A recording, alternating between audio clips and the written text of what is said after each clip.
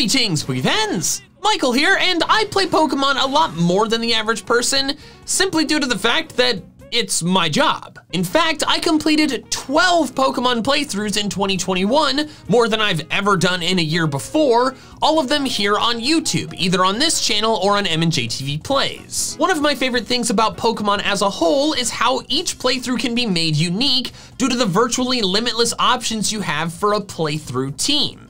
And since I played through Pokemon so many times this year, I got to use a large variety of teams. In this video, I'm gonna be going over every Pokemon team that I used this year, and in addition to summarizing basically what happened in the playthrough, I'll be giving them a rating of 1 to 10 out of 10.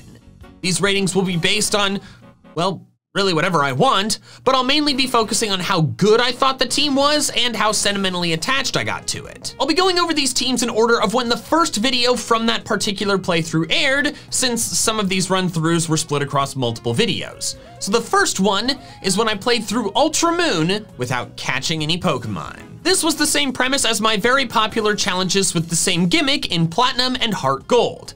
Essentially, I cannot obtain any Pokemon by throwing a Pokeball at them so only gift Pokemon or fossils or any other method that doesn't involve physically throwing a Pokeball in battle. This playthrough was good, but I could have done it better. A big thing I've learned this year is that the story of a playthrough is almost always most compelling if it's start to finish in one video, the only exception being a brand spanking new game. This playthrough was across three videos on plays and then a summary video here. And in retrospect, I should have done it as just one video on one of the two channels. As for the final team, I was surprised that I ended up with a pretty balanced team. The final squad was Fabio the Primarina, Hazmat the Totem Salazzle, Cray Cray the Cradily, Mace the Totem Togedemaru, Libre the Hawlucha, and Enigma the Umbreon. Plus, Chipmunk the Totem Alolan Raticate was a member of the team for most of the playthrough, basically until right before the league. Unlike the other no catching challenges, this was a team I really got to craft and select. The other no catching challenges forced me into a specific team of six, maybe with a couple extras. But for the Ultra Moon one, I ended up with a bunch of different Pokemon by the end of it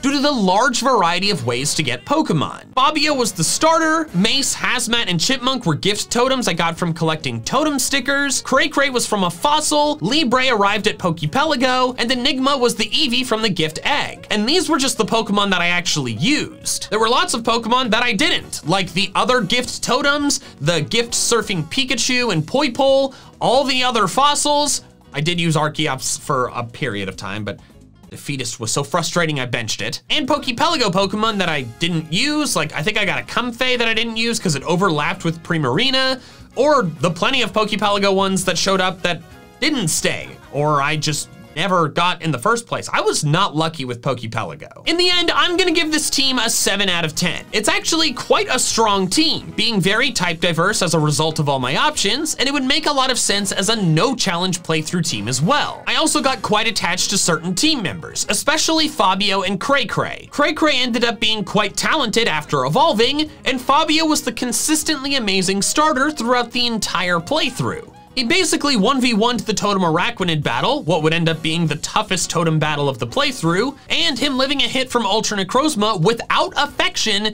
is the only reason I won that battle first try. I can't give the team a perfect ranking though, mainly due to Libre and Enigma. While I'm quite fond of Hawlucha and Umbreon as Pokemon species, these specific ones were added late and didn't really meet my expectations. Despite Hawlucha having a high base speed stat, Libre would often fail to outspeed opponents that I needed it to. Enigma's bulk was useful, but its inability to hit back much at all was a bit frustrating at times. The next playthrough I did was one here on this channel. Can you beat Pokemon Platinum and that's it. This playthrough was an April Fool's joke that I came up with like six months before April Fool's Day and was excited the whole time to actually make it.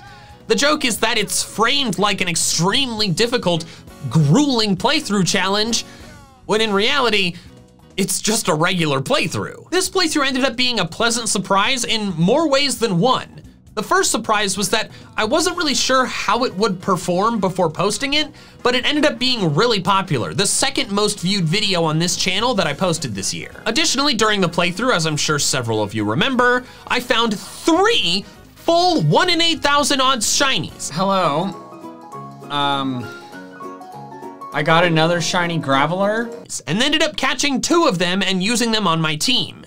It was incredible. I have not found any shiny Pokemon since where I wasn't playing a game where the odds were boosted for the purpose of that video. Any like Normal odds shinies, I haven't found any. The final team was James the Empoleon, Ambush the Shiny Crobat, Tether the Tangrowth, Gallant the Gallade, Korg the Shiny Golem, and Devios the Weavile. Plus, Kalahari the Gabite was a main member of the team before I ended up replacing it with Korg. This team is a 9 out of 10. It's two full odds shinies and a well-balanced team of strong Pokemon, and it ended up defeating the league relatively easily. The only thing holding this team back from being a 10 out of 10 is that I lost to a vanilla playthrough gym leader for the first time in God, I have no idea. The battle was against Candace. Don't say it. And at the time, Devios was not yet on the team, meaning four of the five were weak to Froslass's ice and ghost moves. I failed to notice this before letting James faint, and Froslass ended up sweeping me. I know that oversight was my fault, but it does mean that the team was unbalanced against ice. At least before adding Devios, which would have been on the team at the time of that gym battle if the platinum move sets for Sneasel and Weavile weren't weird and bad. Overall though, I think this team ended up pretty iconic, especially the full odds shinies Ambush and Korg. Korg specifically is pretty memorable because I caught it despite it knowing self-destruct. The next playthrough is one that spawned so much more than I ever could have predicted. Pokemon Emerald, but I'm Team Sky! The beginning of my own Pokemon Evil team. It's not the first one that I've come up with. There's Team Arrow and Team Pixie Dust. Some of you guys know that. But like, this one is by far the most successful. For this, I played through the Hoenn region as the leader and sole member of the third villainous team in the Hoenn region that wants to use Rayquaza to expand the sky, whatever that means. On the topic of that, you only have a couple days left, if that, to get a Team Sky shirt or an M&J MandJTV hat if they haven't sold out at mandjtvmerch.com. Both of these are going away at the end of the year and the hat could sell out soon. So if you want one, mandjtvmerch.com. The final Team Sky team was Airbud the Mightyena, Storm the Pelipper, Night Sky the Crobat, Catapult the Tropius, Intercept the Skarmory, and of course, Skydios the Rayquaza. Plus Windrunner the Swellow was the Pokemon Skydios took the spot of. 10 out of 10! It's obviously not as balanced as the previous two, but that's because it was the theme of the playthrough. And even with that lack of balance, it was a good team. I only lost one battle, my first attempt to beat Roxanne when my team was the weakest, and I got really attached to multiple members. Storm was instrumental for so many battles, and Air Bud being the only non-flying member made for a fun gag when people like Pokemon 7 complain about it being there. Air Bud. I'm not following anything going on, but the nickname is fire. I'm gonna let it, I'm gonna let it go. Just go catch a Wingull, my man. Catch a Wingull. I know it's not a flying type, but it's not a fire or ground or water type either, and Team Magma and Aqua use those. I personally liked having it there since it helped me beat Watson. And of course, actually getting Rayquaza and being the only Hoenn team leader to succeed was such a fun story to play out. This team is 10 out of 10 not because it's the strongest on paper, but because it started Team Sky, a fun piece of content lore of mine that's been really fun for me and I fully intend to continue. The next playthrough was Pokemon White, but I randomized everything. It was basically an extreme randomizer Nuzlocke, just not a Nuzlocke.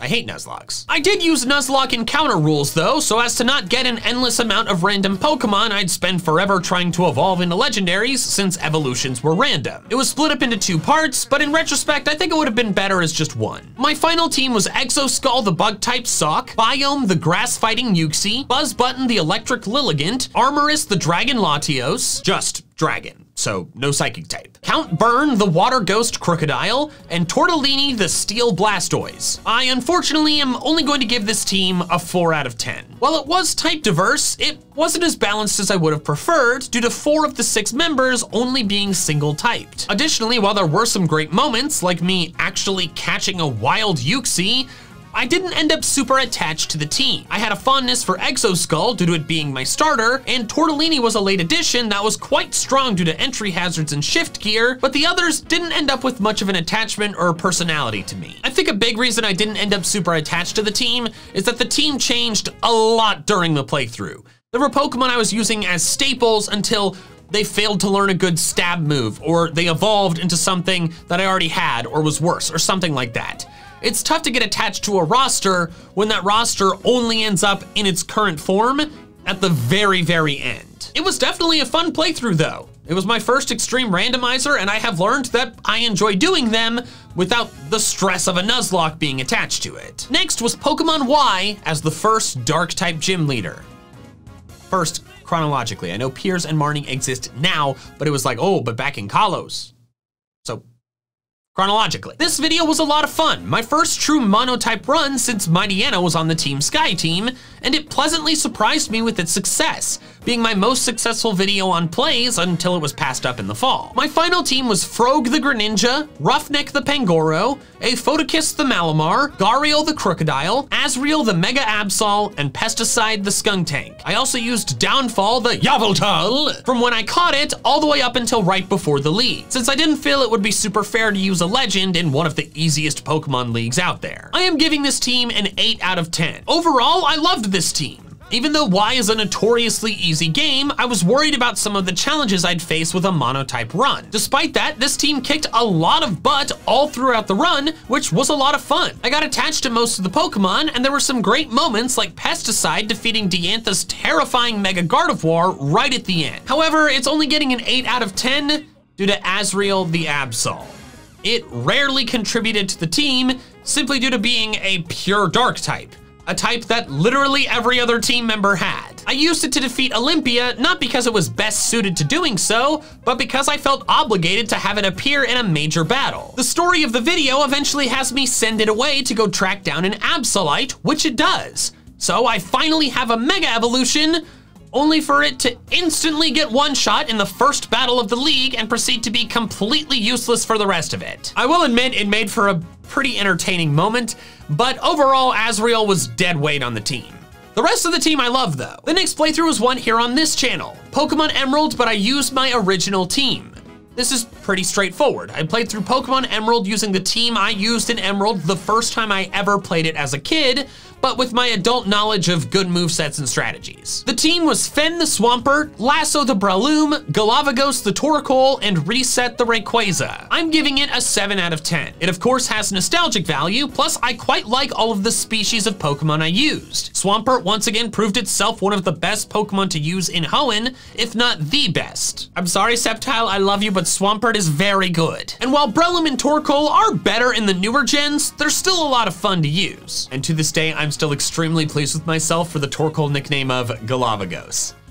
It was annoying when writing the script, because spell check activated a lot, but still, it's very clever. What holds this team back from being a 10 out of 10 team is a few different things. First, it is of course incomplete, not having six team members. Swampert, Breloom, and Torkoal supplemented with three other Pokemon would have made for an excellent team, but they had some struggles at times due to there only being three of them. I did it that way because that's how I did it as a kid, but nowadays I know that having a full team of six makes a big difference. I lost my first gym battle against Juan, and while I did beat him second try with the exact same team, no training in between, if the team had been more fleshed out, I think I could have won that first try. Losing that battle is actually the second reason I docked some points from this rating.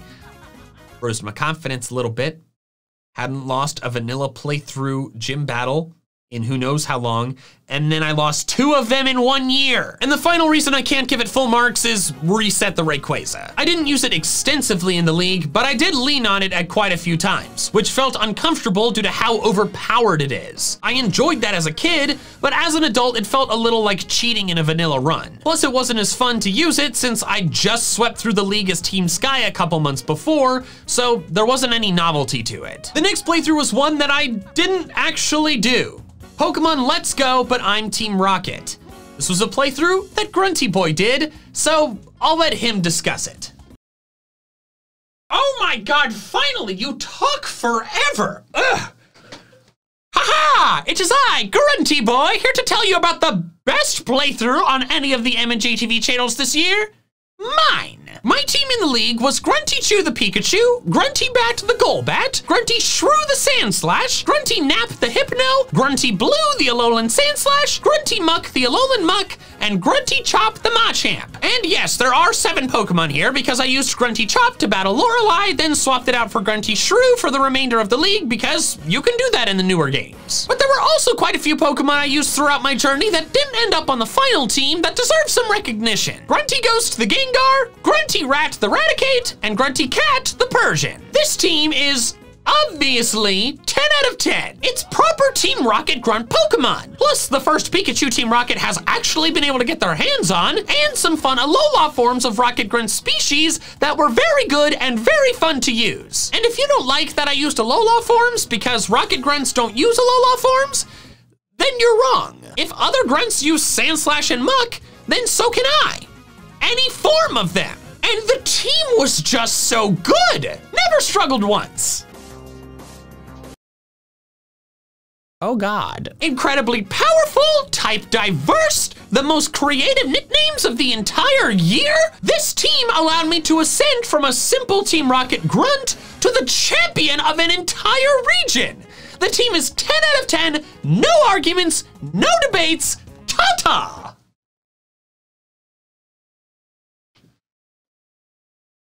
Well, it's hard to disagree with him. Let's move on. The next playthrough was the return of Team Sky, this time in Pokemon Leaf Green.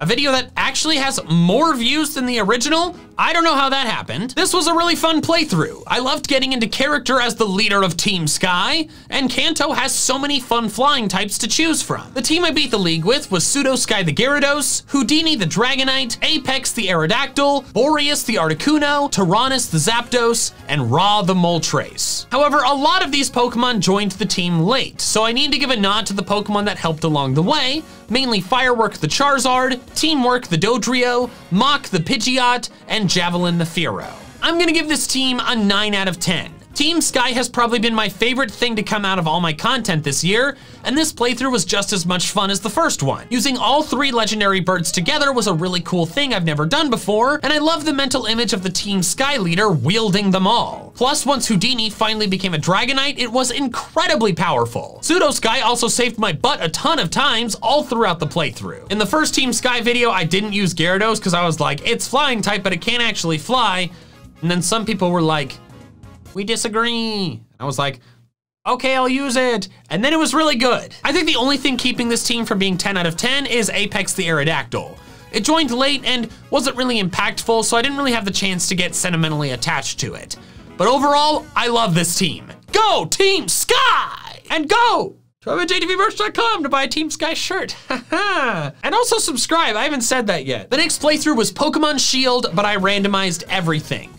And in case any of you were not aware of this, this is my biggest video ever on either channel. While it isn't my most viewed video ever, it's in 12th place compared to videos on this channel as of recording this, it got to that place in just two months. It's my first and only so far video to get 1 million views in less than a week.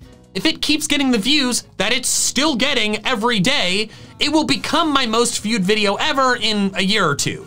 Maybe, if the views keep up. In short, my next YouTube career goal, in addition to getting MandJTV plays to 1 million subs, you should subscribe to it, is making it so the Shield Randomizer video is not an outlier. But even if the video wasn't a massive hit, it was still really fun. I already enjoyed doing the Extreme Randomizer in white, but doing it in a new game where the random Pokemon are causing chaos in the overworld was amazing. The final team I used in the league was Chargestone the Electric Rock Tapu Koko, Paradox the Fire Ice Victini, Leviathan the Fairy Flying Lapras, Zero the Poison Fighting Zeraora, Mewtle the Steel Mew, and Terrix the Water Archeops. Four legendaries on the final roster, three of which were gifts from collecting Digletts on the Isle of Armor, and one of which was from an evolution. I'm giving this team an 8 out of 10 because if I was ranking these Pokemon individually, they would vary wildly. Leviathan was used very little and never really got great moves. Mewtle was good, but not used a whole lot. Zero and Paradox were good and used a decent amount of times, but Chargestone and Terrix were possibly the most broken Pokemon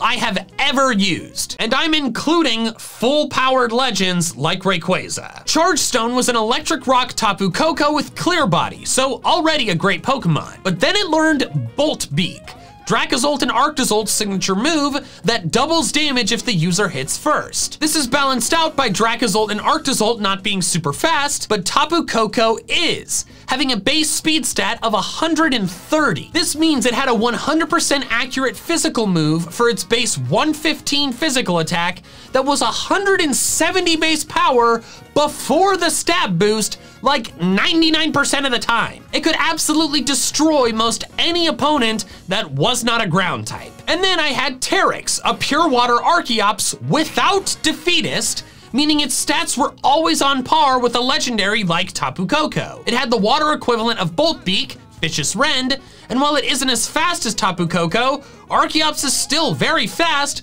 plus it hits harder. This meant I had two fast and physically strong Pokemon with stab moves that were 170 base power most of the time. They were virtually unstoppable and did almost all the battling for the later part of the game. They were some of my favorite Pokemon to use ever, especially after all the struggles I had in the early game, and they're all I think about when I think about that team. Which is why I can't give the whole team 10 out of 10. Terrix and Chargestone, they're like 11, 12 out of 10 but they were so good that they outshone the rest of the team, so I can't give the whole team a 10 out of 10. Next was when I played through Pokemon Alpha Sapphire as a grass gym leader.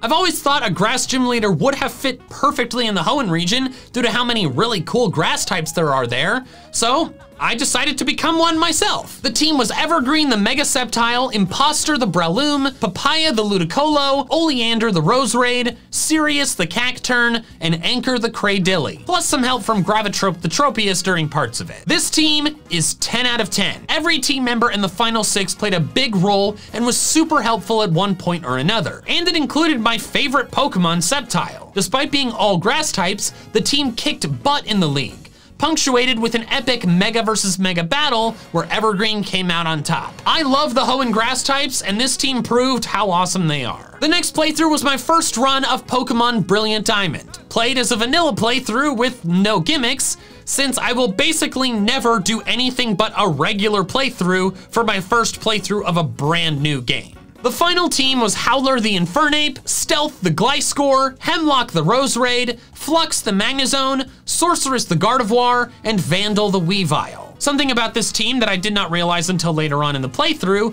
was that every member species but Vandal was a Pokemon with a prominent role in my first Nuzlocke of Pokemon Platinum. I think I ended up doing that subconsciously as a way to redeem that very depressing playthrough. I'm giving this team 8 out of 10. All the members are cool Pokemon that I like, especially Stealth the Gliscor. I had to get a Razor Fang from a friend due to the poor game design of these remakes, but having it on my team was a lot of fun and it was actually the Pokemon to win me the league. What's keeping it from a perfect score though are two things. The first is that it's extremely weak to Lucian's Bronzong, which I did not realize until I almost lost to it during my first run through of the league. It having a super effective move for five of my six team members. The only one who was not weak to it was Stealth, who had fainted at the time. Trick Room was up, and if it had gone for Psychic on Howler instead of Earthquake, I would have been screwed. But the other reason I can't give it a perfect score is because it's associated with Brilliant Diamond and Shining Pearl, the main series games that have caused me the most disappointment that I can recall. I discuss of my problems with the games in another video, but to summarize, I don't think the games as a whole are bad. I had fun playing them, but they have a lot of issues that could have easily been remedied to result in a much higher quality end product. Because this team is associated with this disappointing game, it's tough for me to get as attached to it. But overall, I still love the Pokemon themselves, especially Stealth the Gliscor. And the final team of the year was my playthrough in Black 2 as a bug catcher.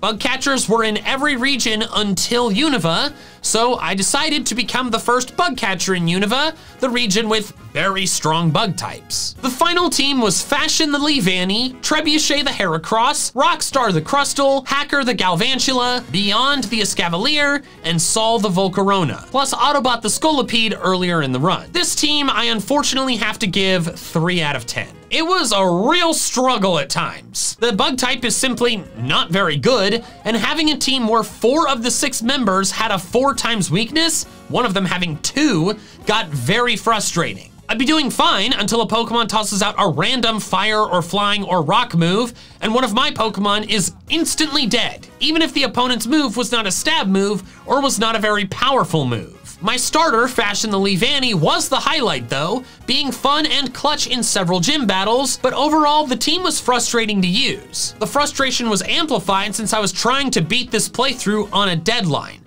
So every random loss that caused me to have to go back to a Pokemon Center and do something again was extra frustrating because it was making it take longer. Additionally, Sol the Volcarona, a Pokemon I expected to carry the team, ended up not being very good not getting a better fire move than Ember until right before the league when I got the Flamethrower TM, and dying to even the weakest of rock moves. In the end, the main Pokemon I got attached to was Fashion the Leavanny, but overall, I didn't end up very fond of this team. Now that I've covered them all, I'll rank them, but first I want to cover all the Pokemon that ended up on more than one final team of six this year. Those would be Breloom, Rayquaza, Crobat, Krookodile, Roserade, Weavile, and Cradily. While the first four are Pokemon I love and have used multiple times in the past, the last three are ones that I hadn't used before and it's a testament to how fun they are to use that I used them more than once. Cradily was the biggest surprise since it's a Pokemon I've overlooked a lot in the past. All right, now let's rank them. Black 2 as a bug catcher is last with 3 out of 10, then the White Randomizer with 4 out of 10. Sorry, Unova fans, next time I'll try to use a team that I end up loving. Then we have Ultra Moon No Catching and Emerald Original Team at 7 out of 10, and I'm giving the Ultra Moon team the edge here. Then Y Dark Gym Leader, Shield Randomizer, and Brilliant Diamond were 8 out of 10, and I'll order them as Brilliant Brilliant Diamond as the lowest, then Y Dark Gym Leader, then Shield Randomizer as the highest. Then Can You Beat Platinum and Leaf Green Team Sky were both 9 out of 10, and I'll give Can You Beat Platinum the edge due to the shinies. Then finally Emerald Team Sky, Let's Go Team Rocket, and Alpha Sapphire Grass Gym Leader were the 10s out of 10 and I'd put them as Team Rocket in third place, Grass Gym Leader in second place, and Emerald Team Sky as first place. Sorry, Grunty Boy. It's fine, you're just an idiot. Which was your favorite team that I used this year? Let me know down in the comments below, and thank you so much for watching. With an extra special thanks to my patrons over on Patreon, who are helping support my channel independent of fluctuating YouTube ad rates. If you wanna help support me in the same way, the link is in the description below. Also, if you want to check out some more of my fun Pokemon content, I recommend these videos here. All right, that's all I have for now. So until next time, fans, gotta catch them all.